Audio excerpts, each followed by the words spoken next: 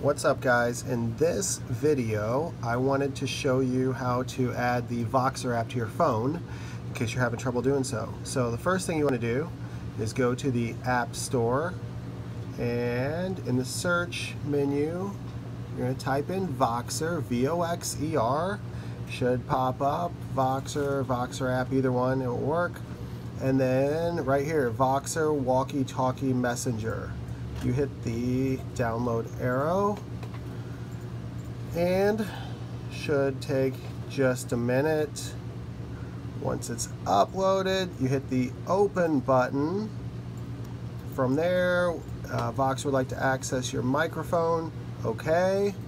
And then from there you're going to hit the sign up if you have not already created an account. From there you type in your name type in your email address.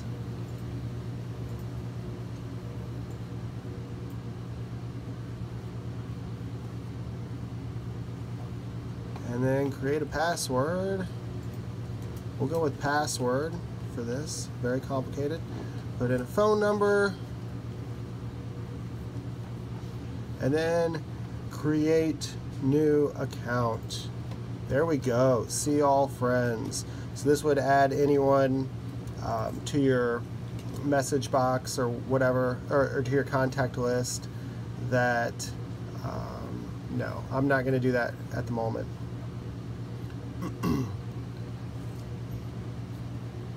so you want to, from here, customize your username.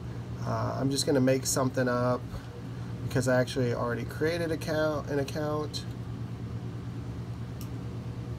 But so you want to create your customize uh, your username. So this is important. You need to know what this is. This is what um, we need to know so we know who we're speaking to. So create an uh, username that we can then you'll let us know who it is. And then from here, you're going to go up in the top left, go to contacts, and search for people. You want to search for Blue Ocean Fitness. There we go, B-O, Blue Ocean Fitness. There's no spaces. Blue Ocean Fitness, select that, and then add to contacts, and then open chat. So from here, you could hold it down and say whatever you want to say to us light it up, and you just sent us your first message. Um, Voxer would like to access your location, whatever, that's totally up to you, doesn't really matter. Um, but using the Voxer app, right here you can play the message you just sent if you hit that little play button.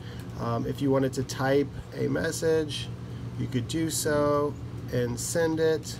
If you wanted to record a voice message to us, all you got to do, hold down the walkie-talkie button and speak into the mic and then let go and it will send right away. If you want to send us a photo, you can do so with, I think it's this button right here, um, but you're to have to allow it to access your photos. Um, you could also take a picture and send it to us. So that is how you use the Voxer app on an iPhone. If you have a fake phone, or not as good phone,